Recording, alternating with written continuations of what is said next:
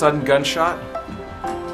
I mean, that's a that one has particular resonance for me. I really Marvin I think was not quite sure about its place on the record.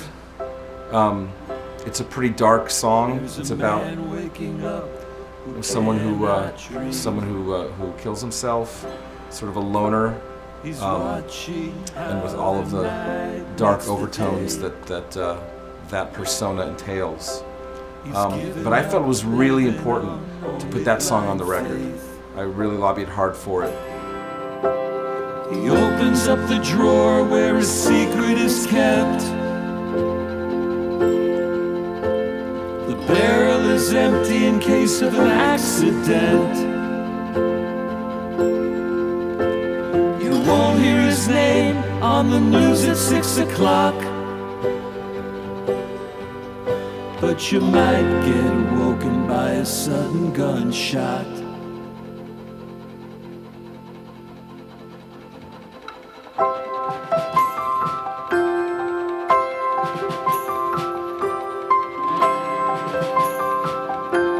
I didn't want the record to just be about the quest for the, the spiritual quest and the pursuit of the mystery of, of what life is and all the other sort of existential questions that the album has. This one to me was was uh, important because it had a it had a narrative. It wasn't a uh, inherently questing song the way some of the other ones are. Um, and I felt to provide some emotional balance uh, and some substantive balance to the record, I, I really felt that there was a, it was important to have that song on the record. He was proving with God on his side. You won't hear his name on the news at six o'clock. But you might get woken by a sudden gunshot.